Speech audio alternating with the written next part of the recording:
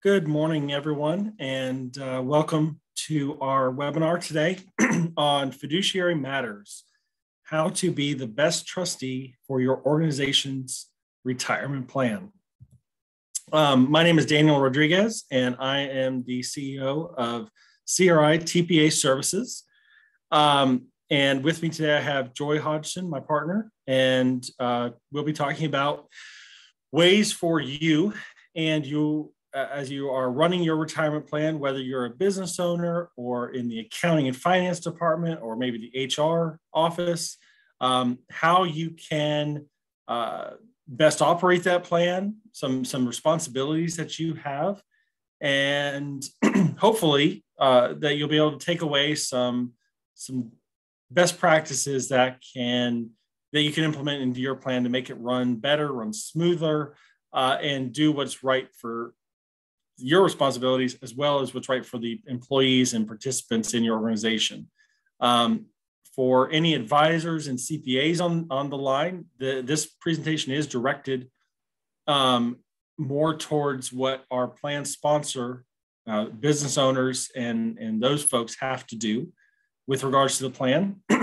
but uh, for those of you consulting those folks, this is hopefully a, a wealth of information for you. Um, so our presentation today will take about an hour, uh, maybe a little bit under that, but it's about an hour. Uh, if you have questions, feel free to answer, ask those in the questions, and we'll try to get to those as best we can throughout the session. Um, so again, uh, we look. Thank you again for taking time out of your day to to join us on this this webinar. Uh, again, Daniel Rodriguez, and I'm based in Tallahassee, Florida. And then again, my partner, which you should be able to see her uh, as well, uh, Joy Hodgson, and she is out in Lubbock, Texas. Um, together, we, we run CRI TPA Services, which is a portfolio company of Carr Riggs and Ingram. And our focus is on retirement plan consulting and administration for primarily small business retirement plans. Uh, we've got clients, most of our clients are under 100 participants, but we've got several clients uh, over that, you know, in the couple of hundred participant range. Um, so we are uh, happy to have you with us today.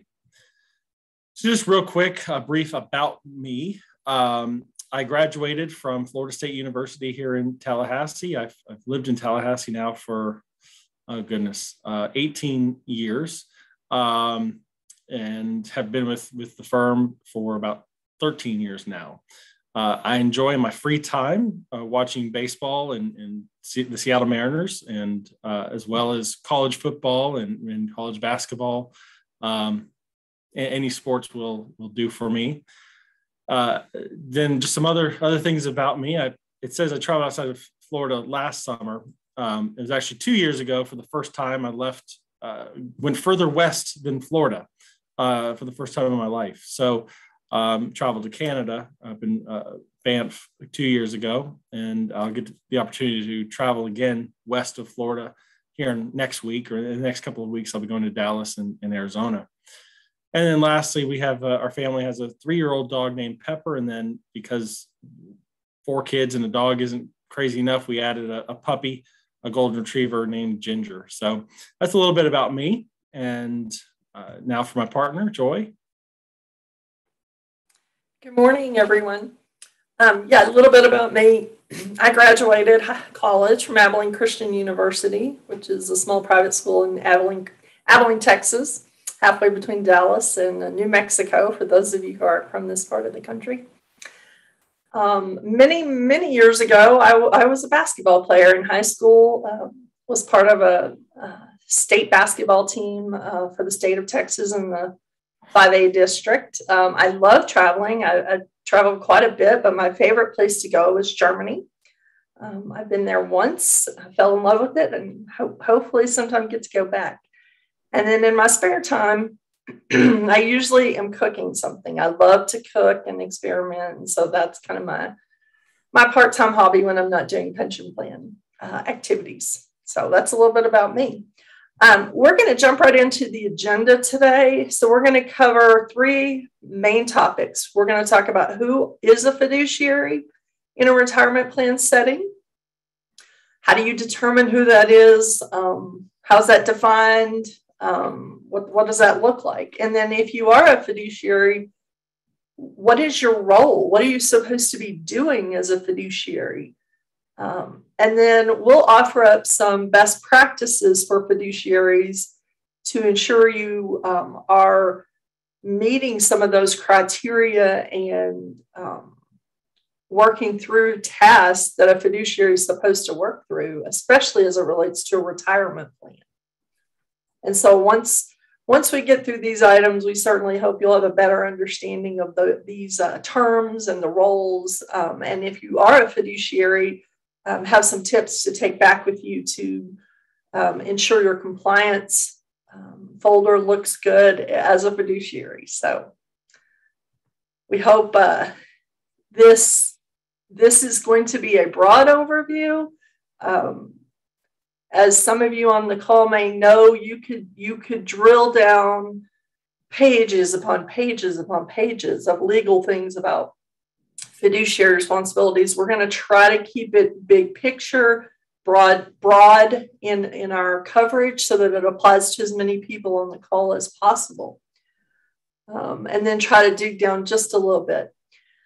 Um, so, so basically, a fiduciary would be anyone or any entity that has discretionary authority or control over the management of the assets that are held in the plan. So, the key piece there is discretionary authority or control. We'll talk about what that means um, in terms of how much discretion you have to have. But it's this first one is really about how the assets are managed, the investments, the money that's in the plan. Um, secondly, anyone or any organization who is rendering investment advice for a fee or any other compensation, you're going to be a fiduciary with this plan. Um, and then anyone who has discretionary authority over the administration or operation of the plan. So once you set a plan up, you fund it, somebody within the organization or somebody you hire is going to be making day to day administrative operational decisions and doing those kinds of activities to run the plan. And so, in some instances, um, you could be a fiduciary, not you may not have any control over the assets, but you may have control over the operation of the plan. And that would deem you a fiduciary as well in some, some circumstances.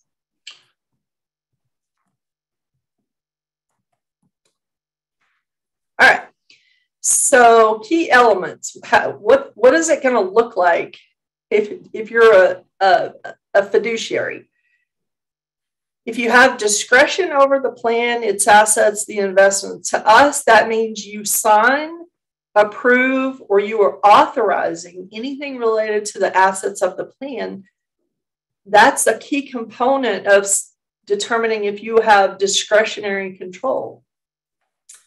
Um, alternatively, if you are someone who sign, let's say you sign documents, but you are simply following an established procedure or a policy or rules about the plan that were actually approved by other fiduciaries, then you may not be a fiduciary. You may just be following the administrative rules.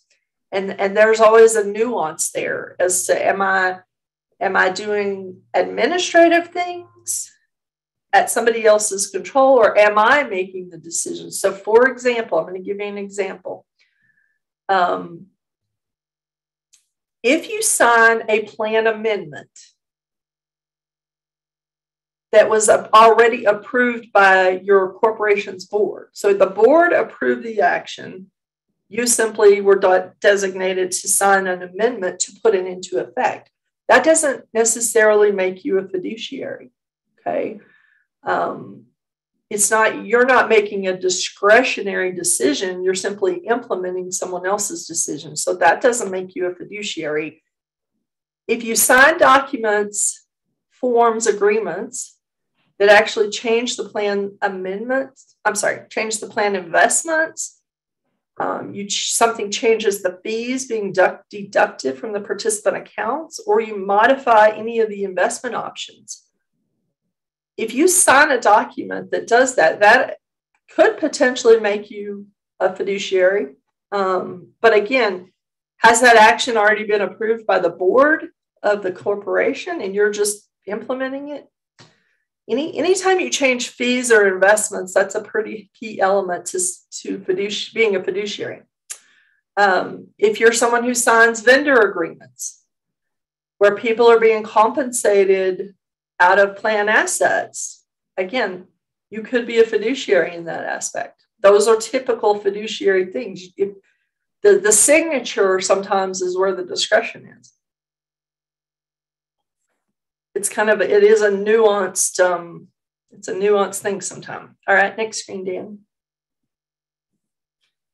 And this is where what we just talked about is what we call are you a functional fiduciary or a named fiduciary? So I'm going to talk about a functional fiduciary. Someone, an individual at a corporation could potentially be a fiduciary. They could be considered a fiduciary based on what they do. Um, if you have any discretion over the plan assets, you could be a fiduciary. And oftentimes, um, you could be a fiduciary even if you're not listed on any documents in any plan agreements. Your name's nowhere listed as a trustee or designated fiduciary. But if you're doing those functions, potentially you could be a, a, a, functional fiduciary. In other words, you have the power to, to do all the things a fiduciary can do, you just aren't listed. And so that's where you kind of have to watch. Um, if you're in charge of your plan's um, operation, in charge of your company, you're the owner, you're the shareholder, um, you're the partner. That's where these areas get a little bit of gray. But generally, we say, are you doing administrative tasks or are you doing fiduciary tasks? So, for example, are you authorizing an employer contribution to the plan? That's generally an employer fiduciary task. Are you approving loans or distributions? Um, are you authorizing the service providers to change their fees, increase them or decrease them, but a change in the fees? Um, if you're someone who's just updating the participant records online, that's, that's not a discretionary task, that's an administrative task. And so these are the concepts we try to look at in terms of identifying who's a fiduciary and who's in an administrator role.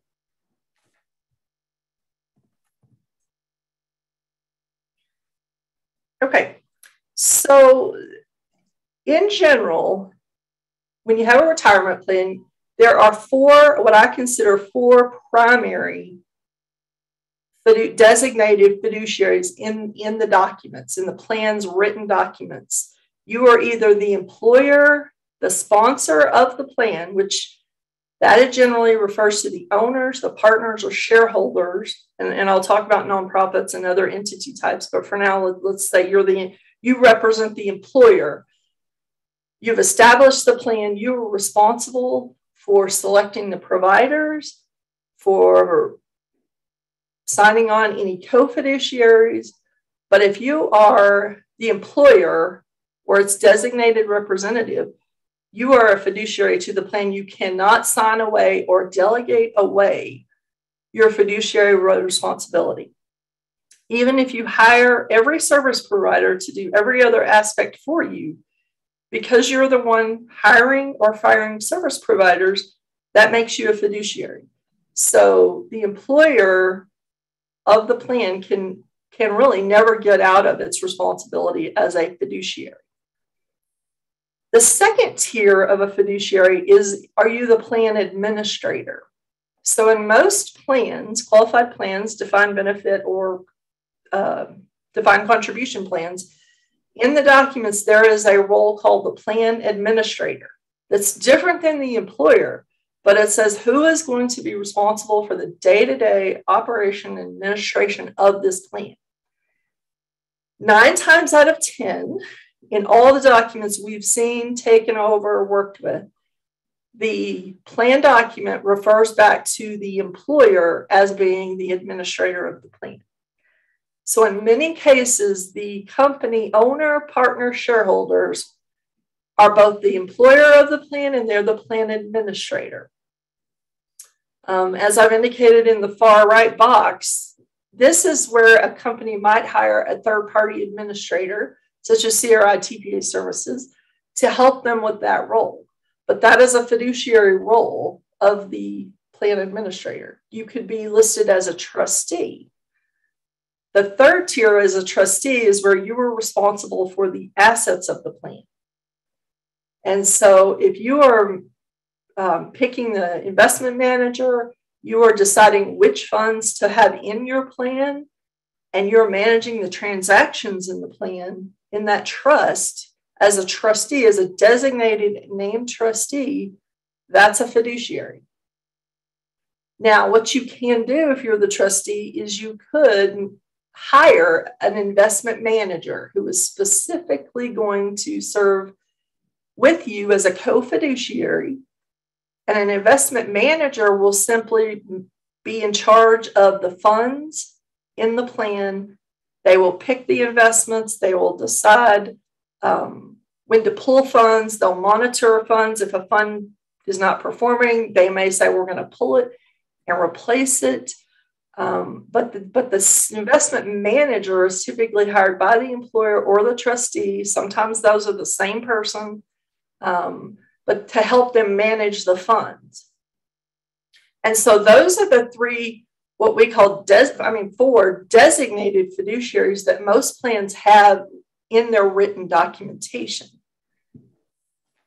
if you're not listed as a trustee in one of these, I mean, as a fiduciary in one of these four roles, that's where you could potentially still be a fiduciary. Under the previous slide, we talked about the functional fiduciary.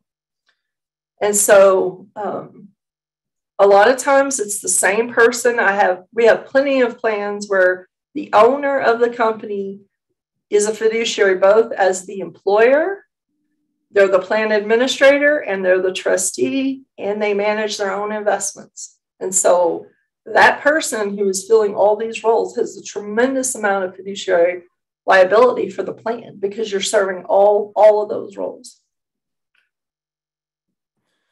And before I go to the next slide, Joy, we did have one question. Okay. I'll, I'll, ask it here. I'll, I'll, just throw it out here. Um, the question this was actually a couple slides back talking about who is a fiduciary. Um, and the question was so, does investment advice for a fee include fees charged by an advisor to individual 401k participants as a percentage of plan assets? I, I would say if you are rendering investment advice to that participant, yes, you would be considered a, a fiduciary. Would you agree, and I, agree. And so in the investment world, and I don't know, I don't think we have a, a, space on this. Uh, you know, you might see different levels of service provided by the advisor. Some advisors are purely engaged to provide employee education and assistance and guidance. Um, but then they may be using an, an automated ed, uh, investment advisor like a what's called a Wilshire, a 321 or 338 advisor, like a Wilshire or Iron Financial, those types of groups. You in those cases, that advisor who's getting paid a fee out of plan assets would argue they're only providing employee education and talking about the plan, they're not providing advice. They would argue, even though they're getting paid out of the plan, they're not a fiduciary. Um, the levels up above that, the next two would be a, a three, what's called a 321. You might have heard that term. 321 investment advisor. Those are going to be a, a co-fiduciary with you uh, as the, the trustee of the plan. And they're, you know, so for example, providing re- reports and uh, about the fund investment lineup and the options that are available to participants. And they may say, this fund needs to be changed. Where you know we recommend replacing with this. However, the the investment committee or the plan administrator trustee would have the ability to override the, and make that decision with, with that investment advisor. And then the third tier of investment advisor you might see, investment manager, would be where they take all the they take their responsibility upon themselves and say, XYZ fund has underperformed. We need to, we're going to replace it with ABC fund and, and do that for you. But in general, the investment advisor, especially if they're giving advice on where to invest money or assisting and, and doing those types of things in general, yes, they're they're going to be a um, a fiduciary uh, with regards to the plan.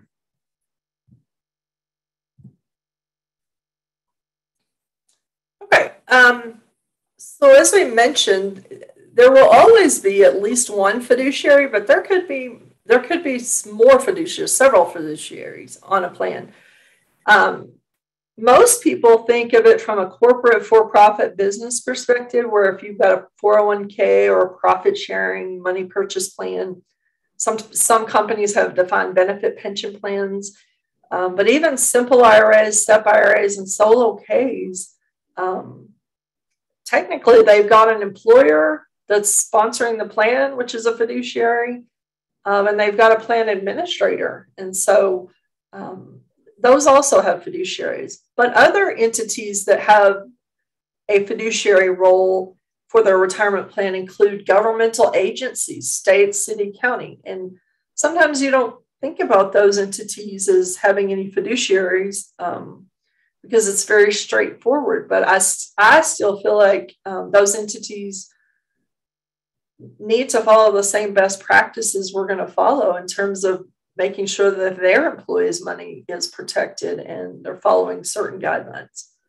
Nonprofit organizations um, would generally have a board, pardon me, or executive directors or a controller. A lot of times, nonprofits um, have a small group of people involved, um, but but they still need to act with their fiduciary best practices in mind. Churches, um, this would include elders or ministers, um, colleges, universities, and, and unions, of course, collectively, collectively bargain groups um, are generally on top of who's a fiduciary over those, over those pension plans.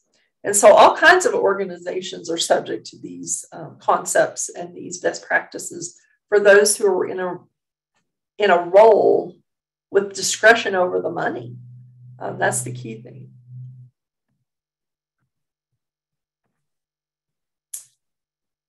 And then the second aspect here about governance is going to be that these these plans, retirement plans in general, are, are regulated, heavily regulated by both the Department of Labor and the IRS. Um, but they have different perspectives. So under the DOL, you have this very broad piece of um, an act that we call the ERISA, ERISA, which is Employee Retirement Income Security Act. It's very old. It was established in 1974. It's still um, governing these plans today. Um, but it has broad and overreaching oversight over health and welfare benefit plans and qualified retirement plans. So, under ERISA, the DOL and the Employee Benefit Security Group are focused on ensuring the participants in these plans are treated fairly and that their retirement funds are secure and protected from high fees, from mismanagement. So the, the DOL really um, has a different focus than the IRS. The IRS is, is concerned about what fiduciaries do, um, probably from their perspective, more from a, um, a tax revenue perspective, because these plans are um, have tax favored status. There's a lot of deferral of income that runs through these plans. And so the revenue service is also concerned about making sure the fiduciaries um, who have management over all these assets are protecting the participants and acting in the participants' best interest. Um, so that their funds are there and that the income tax status of the plan doesn't get jeopardized. Um, and so these two agencies will from time to time audit plans. And so our encouragement to you is if you or your clients get an IRS or a DOL audit notice of the retirement plan, you want to first be sure and read it and note the date you have to respond. Don't ignore it, don't pass it off you need to respond, but you would also um, be, be advised to get counsel from your TPA, from your advisor. Everyone who's servicing your plan can help uh, respond to those. And so if you get an audit request, you need to jump on that. We, we see some who say, well, I got this a, a couple of couple of three weeks ago and, you know, I have to respond by tomorrow. And it takes time to gather up all the information they're going to want to see. And so act on those as soon as you get them and don't let them get stale dated and, and passed around from for somebody to deal with. Just get get your team involved and help you with it. I'm going to turn this next section over to Dan. He's going to talk about the role of a fiduciary and some of the key components um, of governance and, and, concepts. Thank you very much. Um, so, what is the role of a fiduciary? I, I like this whole topic of, of, of, what a fiduciary is and what roles you have. Um, a lot of it is kind of like ethics, right? You, it's common sense. It, it makes sense to do the act in the best interest of everyone else, of the participants of the plan. Um, you know, you know, kind of like treat others how you want to be treated. Same, same kind of concept here. So follow what was called the prudent man rule. And we'll have a slide on that coming up here. Acting in the best interest of the plan participants. So whether I'm the plan sponsor, okay, whether I'm the plan administrator and plan sponsor, I'm also referring to as employer, whether I'm the trustee or whether I'm the investment advisor, the best interest of the participants, not myself. Protect the retirement funds of the participants.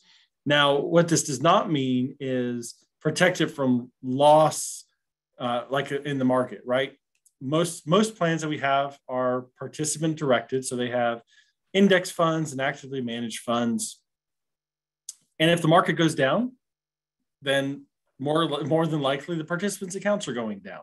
That's not what we're referring to here. What we're referring to is uh, the safety of the funds and making sure that the fund lineup from an investment standpoint, or maybe the investment options, if it's trustee directed, are avoiding unreasonable or uh, you know excess losses. Right? If the market goes down 35%, like it did, drop last year after when COVID first hit, well, make sure you're not going down 80%, right? Or, or a lot more. So protect the retirement funds of those participants.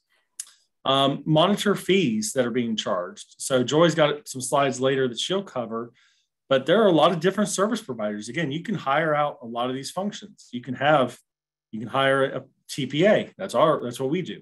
You can hire an investment advisor. Um, you know, there are plenty of out there that are going to help educate your participants and work with you to, on the investments of the plan. You can hire a trustee, um, a directed trustee, you know, so you can have each of these different service providers. Um, you have a custodian of the assets, someone's going to hold the money. You have a record keeper to do all the trades and transactions. So we're layering, lay, you layer on a lot of different um, service providers, which that we all want to get paid. Now, the key thing in that fees, and I'm sure Joy will mention it later, is we're not talking about, it's not a case of the cheapest is always the best, right? Um, there, there's a difference in what the different service providers may provide to you. And so it doesn't mean go with the cheapest. Sometimes the cheapest isn't the right answer. Um, there may be services, but you need to evaluate okay, if this XYZ provider is going to charge me 1% and ABC is going to charge me 1.25 for that extra cost, what am I going to get out of that? Maybe I'm getting some extra services. And for those extra services, are the fees being reasonable? Um, and Joy touched on this earlier monitor the service providers. So make sure the investment advisor is doing what they're supposed to do. Is the TPA providing me the 5,500 to file each year? Is the actuary providing me actuary evaluations each year? Um, is the record keeper sending out participant statements? So you're supposed to, you don't need to know what they do. Maybe you don't have to get into the weeds, but know, are they doing what I'm paying them to do? The last one, or last two, employee salary deferrals deposit each pay period. That is a big focus of the IRS and DOL when they audit plans. That's a big, if you're a large plan, that gets audited by a CPA firm, which our firm does that. Um, that's a big focus of those in, of those auditors as well. Um, and then lastly, making sure the plan is compliant with all regulatory agencies. Uh, so IRS, Department of Labor, for pension plans, PBGC. So you've got a lot of different regulatory bodies overseeing this retirement plan. Hey, Dan. Yes. We had a question come in, and I, I feel like it's relevant, so see if we can speak to it. Uh, the comment is in today's extended pandemic, it's impacting companies and sponsors. Can we give advice on how to balance fiduciary responsibility with a struggling company? Decisions may not appear to be in the participant's best interest, um, but it's a balance. And how do you balance if you're a fiduciary? How do you balance what's good for the company versus in the best interest of the participants? Um, and I, I think that is probably one of the most valid comments we run into is you've got an employer who's trying to keep the business afloat, but he's got this retirement plan that has all these, let's say, fees and contribution requirements, you know, which which comes first. And um, I, I think this is a situation where you if it's required, if it's a required, let's say a required contribution, let's say it's a safe harbor match, you've got to fund it. I would say you need to talk to your advisor, your advisors, your TPA, and say, you know, make sure you know what is what is required because you don't want to jeopardize the tax deferred status of the plan if the company can't make the contributions um, and come up with a plan there. But I can tell you the service would tell you to do what's in the best interest of the participants every time. Um, but for example, I'll just give you a good example. I have a, a company who contacted me and said, look, we can't, we don't have enough money to pay the employee deferrals. Right. So they were withholding money from the employees' checks, but they said they couldn't afford to, you know, they were just struggling. And my comment to that that client was that that is the employees contributions that came out of their paychecks you have to fund it to the plan you cannot use those employees deferrals for the light bill right if anything maybe you tell the employees you need to suspend the contributions but those salary deferrals were essentially wages you would have had to pay to them if, if they didn't have the plan and so if money is considered part of the plan assets and belongs to the participants, um, it's got to take a priority, in my opinion. But you can always amend your plan, change things um, so that you mitigate your future liabilities. But you, you, it, it is a fine line for sure, and I think it's exacerbated by this pandemic. And and to add to that, um, you know, you you just say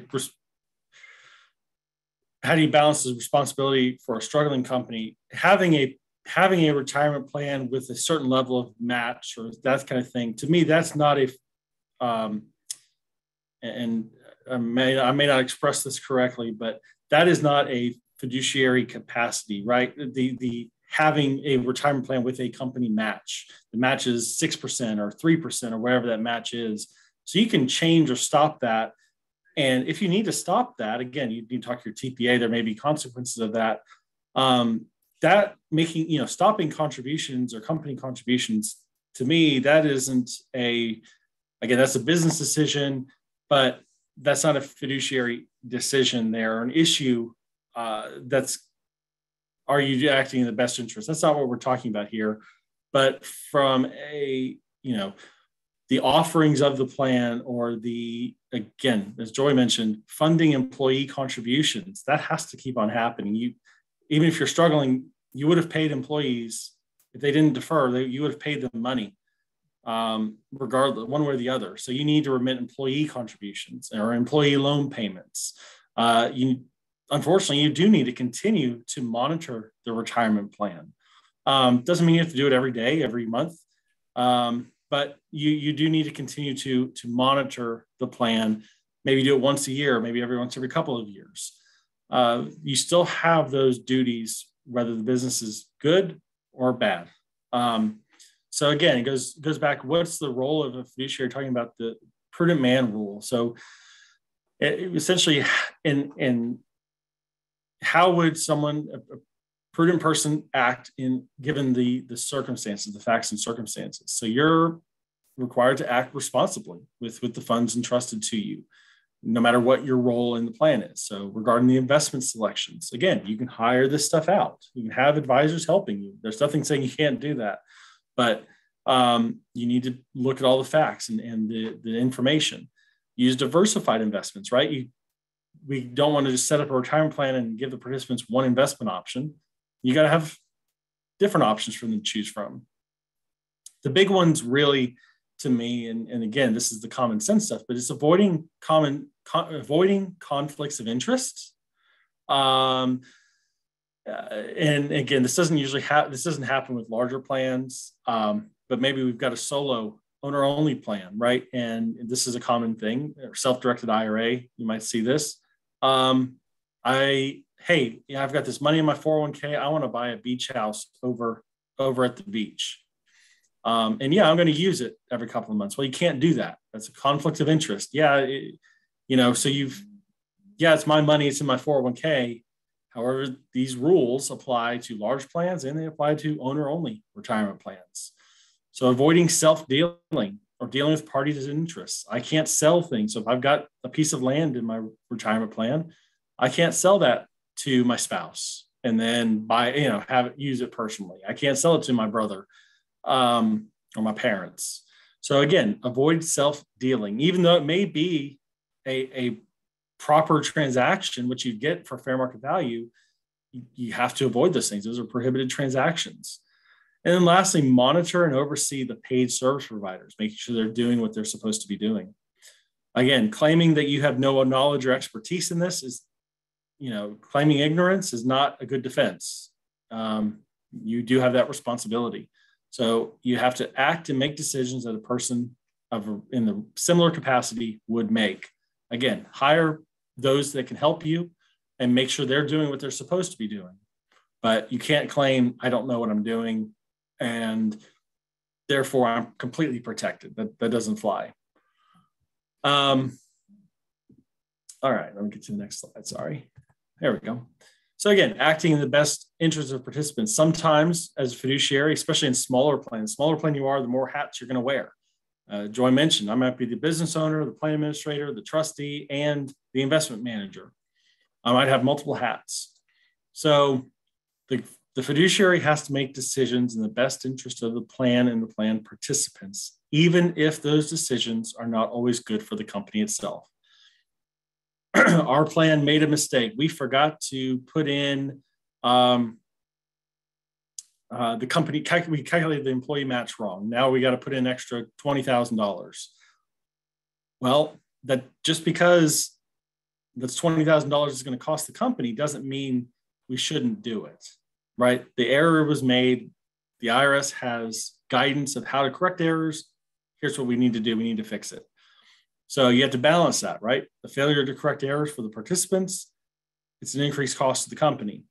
Selection of service providers, you know, hey, my cousin is an investment advisor. I want to use them them to manage my retirement plan, but they're twice as expensive as anybody else. Well, if it wasn't your cousin, would you go with that person? You know, so again, you have to again, it's tough, right? But you have to make do what's in the best interest of the plan and the participants, not yourself a good example that, that Joy has here was, um, you know, a kind of a, a quid pro quo situation where plan is at XYZ record keeper. their, their commercial lender says, hey, if you move your plan to us, we're going to drop the interest rate on your loan by a quarter of a percent or half a percent. Is that benefiting my participants or is it benefiting, benefiting the fiduciary, the business owner who's going to make that decision? Right um, you know, if the IRS and Department of Labor came in and looked at that, would they say that's a breach of fiduciary duty? Again, you'd probably have to look at all the situation here, but potentially um, they could, they, they may. So I think that's a very fine line right there. I'm not saying they're right or wrong one way or the other, but you got to be careful in a situation like that where maybe you're being enticed with other savings or maybe I have my personal investments. I'm going to get a fee reduction on my personal investments if I bring the whole plan over. Again, how's that one? How's that going to get caught? It's a fine line. It's it's tough. Um, so some prime considerations, and, and this is going to be a recurring theme on a lot of these. Keep records of decisions that are made and implementation of those. Keeping records.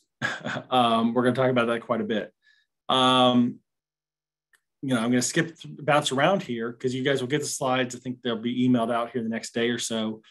Um, but conduct regular review meetings with your service providers and keep meeting notes and document a list of vendors and the fee disclosures that are provided and document that we reviewed it.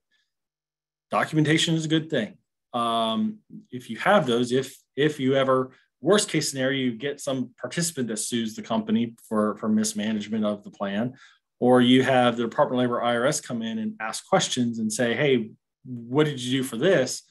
If you've got those records and documents, you know, hey, maybe it didn't turn out the right way. But if you could say, hey, at this time, we made the best decision we could, that's going to go a long way should, again, the worst case scenario happen. Um, for From a liability standpoint, um, there's two things you may see, right? The first one that all plans have to have is a fidelity bond. That is a requirement of the plan. It gets reported on the 5500, whether or not you have one. It protects the plan in the case of a theft. So my my bookkeeper, instead of remitting the 401k deferrals to the plan, they send them straight to their bank account, right? They took, they stole from the plan. The plans due the money. So the bond protects the plan up to, again, 10% of plan assets up to $500,000. All plans should have that. They're pretty inexpensive. What's optional is a fiduciary liability insurance. You may see this more and more uh, for those of you going to apply for this insurance or for your fidelity bond. You may see this added on it's a little bit more costly, but it protects the fiduciary in case of a lawsuit or due to errors, um, maybe legal costs.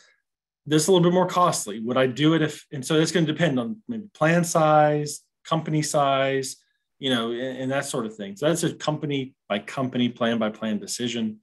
If I was a startup plan with no assets and five employees, would I put have fiduciary liability insurance? Probably not. If I've got 150 employees and a $15 million plan, I'm probably going to lean towards yeah, or I'd have a, a directed trustee company, uh, or you know, I would try to mitigate those those potential losses if I could. Now turning over to Joy for some best practice, starting our best practices for fiduciaries. All right, we're going to spend the, the last part of our session today talking about some best practices. Um, again, th- this is a list that we've kind of already covered, um, but you know, if I were to come to your office and say, "Show me your fiduciary compliance folder," what what do you got in it? How many how many of you could say you have a fiduciary folder, a file that keeps anything in it? Um, this is something you should start just just start it and start putting things in it. You want to also consider especially if you're a larger plan like dan said sometimes if you're a smaller plan maybe not but if you're a large plan establish a committee and meet regularly that will review things that will monitor the service providers that will talk about what's going on um, on the financials of the plan. Um, having a plan committee and meet regularly is a good best practice. Um, keep, as we talked about, keep notes. I cannot tell you how many times the conversation is, well, we met, but I don't remember exactly who who was responsible for following up on this or that. So put someone in charge of keeping meeting notes of every meeting that's had and documenting things um, maintain a current list of your service providers and their fees. Again, we come across clients all the time who say, I, I have no idea how much so and so is getting paid. I have no idea how much the investments cost my participants. Keep a list. This is a fiduciary obligation to know what your participants are being charged and by whom and what are the services. So keep a list of service providers keep a list of the named fiduciaries. We went back to that slide that had the four primary the employer, the plan administrator, the trustee, and the investment manager. have a list and, and have it readily available. Keep copies of reports. Um, your TPA and your investment folks probably send you a lot of paperwork at the end of the year. It's important that you keep those. And um, I would say, more importantly than keeping them, take it to your plan committee and review them. Look at them, see what they say. You'd be surprised what you can find if you start actually opening the reports and looking at the detail that's in them. Um, every three years, you should benchmark what we call benchmark your fees. So put the plan out to bid and see if you can um, show that your plan fees are still reasonable given the current market um, and the services being provided. Again, you're, as Dan said, you're not obligated to have the lowest cost fee every time. It's got to be a reasonable fee for the service you're given. And so periodically, um, every three years, sometimes three to five, put the plan out to bid and see if your fees are still reasonable. Um, another big compliance deposit the employee deferrals timely. This is a very common, um, it's an error. The IRS considers it an error. We'll talk about it, but deposit the employees' monies as soon as possible. Keep the plan documents up to date. And if you have an error or if you make a mistake, the IRS has a lot of correction programs that they'll tell you if you correct it this way, it's you're good. So into more detail, service providers. You've got an investment broker, a TPA, a trustee. You might have a directed corporate trustee, an auditor. If you've got a DB plan, you've got an actuary. You need to keep a list of which service providers are on your plan and then what they charge. What are their fees? Fees are often broken down. I've got it here four ways an asset based fee, where it's a percentage of each person's account balance. It might be a flat fee, where it's a specific dollar amount per person. So they might be paying $50 per person out of their account.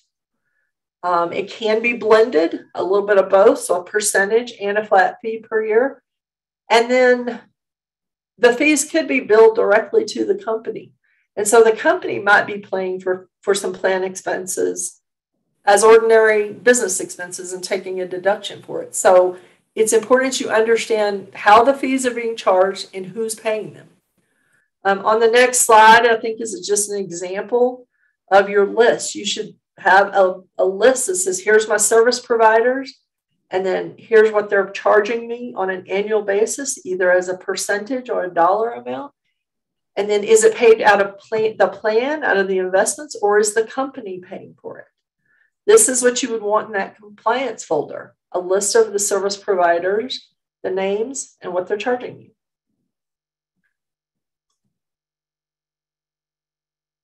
The other thing we talk about in, the annual review, a client sometimes say, well, what would we talk about? And so um, my question sometimes is there's a thousand things you could talk about, but here's here's a recommended agenda. If you wanted to start holding review meetings, you could start with these agendas. Have you had any amendments or changes? Did you look at the IRS compliance testing and the year end reports? look at the investment earnings and the performance of the funds. A lot of times I have clients who cannot tell me if their plan's making 2% interest on their earnings or 15.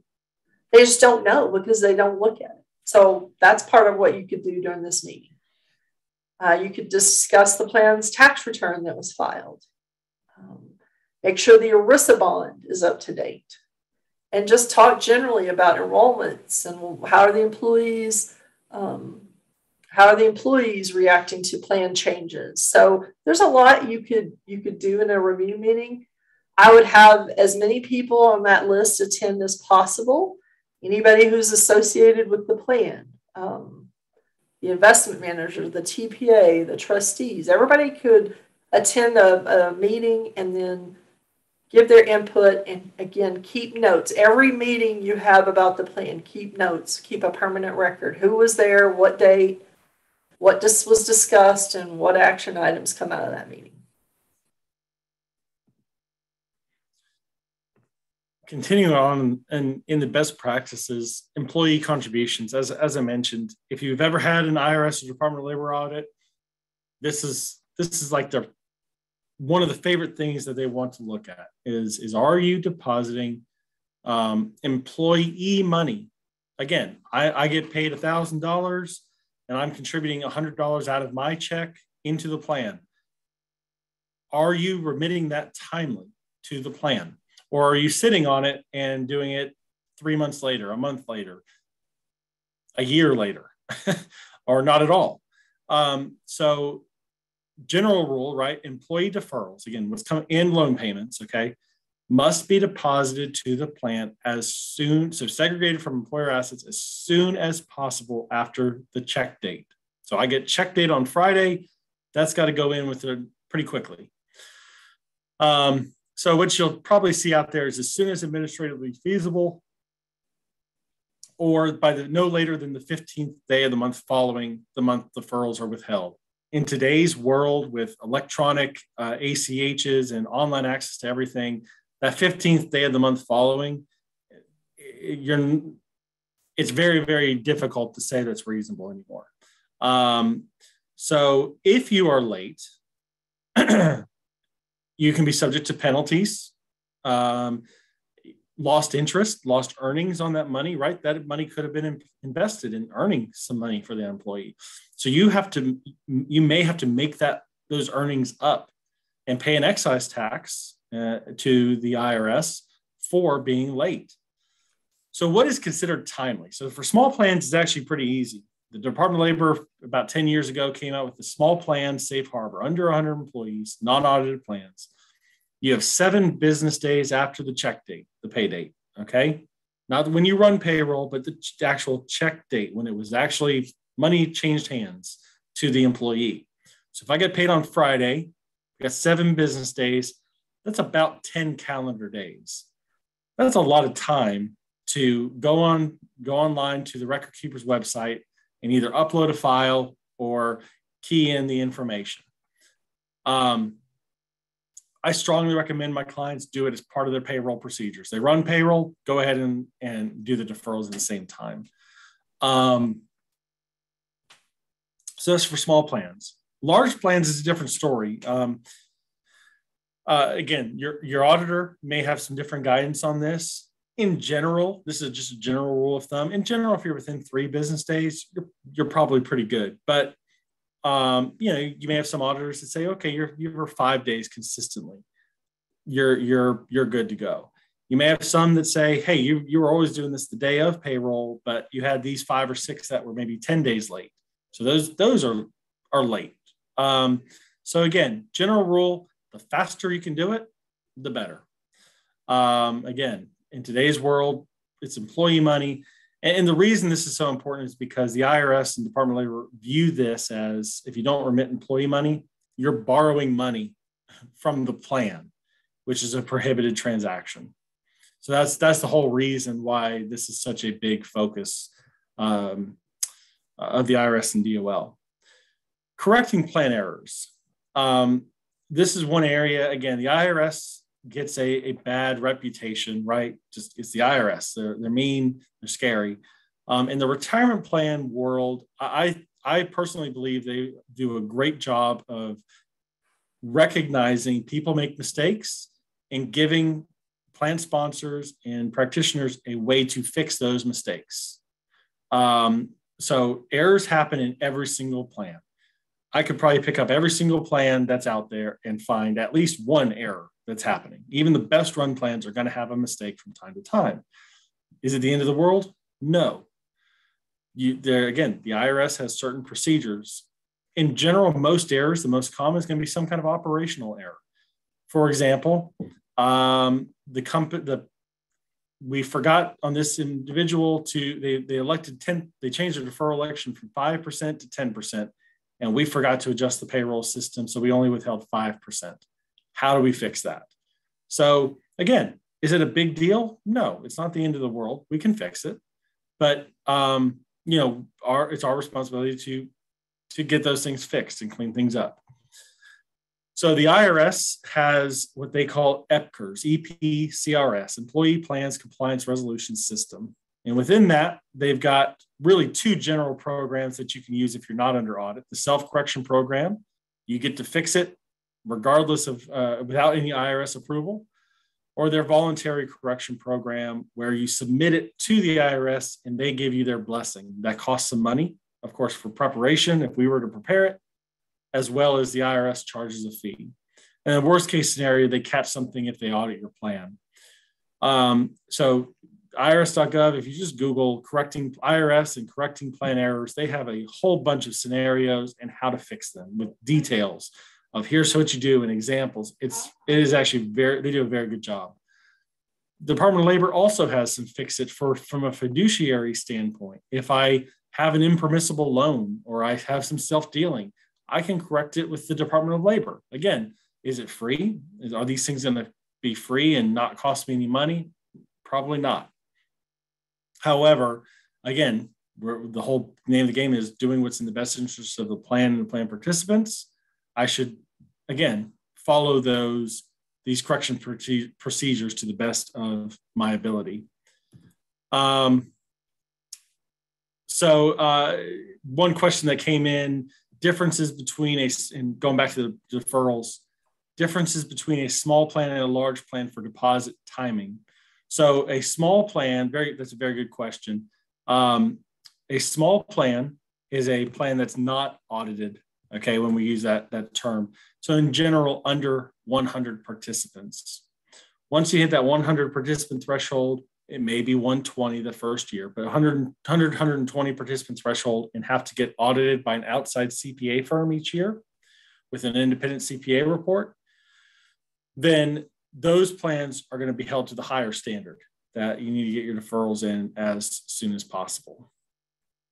So that's the differentiator there is, is not, it's, it's going to be based on plan participants, not plan asset size, but participant count. Um, so again, in review, summary, may you know, document what you have. Maintain a list of the fiduciaries of the plan, the service providers, the fees that are paid to those service providers. Um, conduct annual meetings. Um, can uh, hold annual meetings. Document those meetings in writing. Uh, correct plan errors as soon as possible. Again, maybe I don't catch it for a couple months, but correct it once I find out about it. Maintain a file. And, and this is not a DIY project, so seek out service providers. We, we are a TPA. We can help. We can help answer those questions or assist with best practices. We have an investment advisory on level four. They can do investment work. We have a, you know, again, this is the plug session, right? We have a trustee, a company, a trust company, preferred legacy trust. Whoever your service providers are, seek out those service providers and experts in the field to help run your plan um, in, as, as best as possible. Um, thank you very much for, for joining. We've tried to answer the questions as they, they've come up. Um, if you have any other questions, please feel free to reach out. You should be getting within the next 24 hours or so um, an email as a follow-up with uh, the slides for today. Um, we do thank you for, for taking time out of your day. If you've got follow up questions, please feel free to reach out to me or Joy, um, and we will be happy to, to answer your question and, and help you out there. And with that, thank you and have a good day. Bye, everyone.